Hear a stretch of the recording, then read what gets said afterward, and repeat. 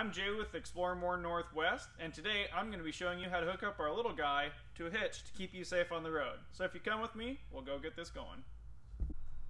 Hi, welcome back. Before we actually hook to the vehicle, I'm going to go over some terminology to make sure we're all on the same page. Start off with, this is a folding jack, and this is what makes a trailer go up and down and stows away under travel. Next we have a 2-inch coupler. All the trailers we rent have 2-inch couplers and require a 2-inch ball. Then we also have the safety handle which latches the coupler to the ball. We have a 7-pin light connector that connects to your vehicle. And we also have 7-pin to 4-pin adapters if you don't have a 7-pin on there. Next we have two safety chains that hook to your vehicle. And then we also have a lock to hold the handle down on the coupler. Let's go ahead and get started. Alright, we're going to go over hooking up your trailer to your tow vehicle.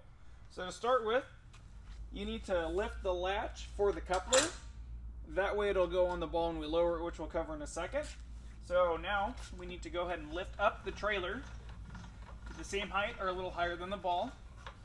Now we'll roll the trailer forward over the ball or you'll back your car up to the trailer depending on what kind of conditions you're in. And then you'll go ahead and lower the coupler over the ball by lowering the jack. And then once it's securely firm, you can tell that we've got a little pressure on it when the jack wheel starts to move just a little bit, you can see that's moving around. And at this point, you can pull the pin on the jack out. And once you've started to move it, you'll hear it snap into place. And now you know it's locked. So at this point, let's go ahead and go up to the coupler handle. We'll lock that down into place.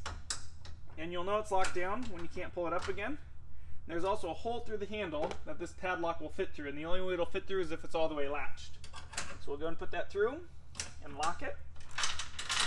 Now we'll take our safety chains, and this hooks on either side of the trailer hitch. We'll go ahead and hook those on. And make sure that the chains don't drag. Then we have our light connector. We'll go ahead and plug that in the back.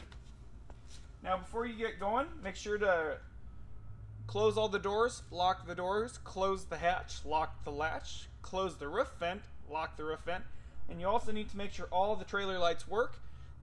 Alright, we're going to go ahead and disconnect the trailer from your tow vehicle. And to start with, we're going to go and put down the jack. Now we'll disconnect the lights. We'll disconnect the chains from the tow vehicle.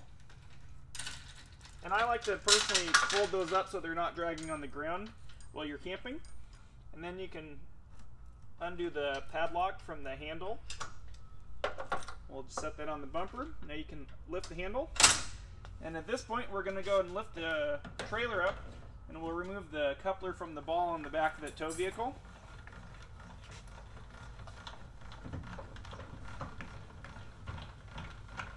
And once you have it high enough where you can bend over and you can see air between there, you can go and pull your tow vehicle forward and you're good to go.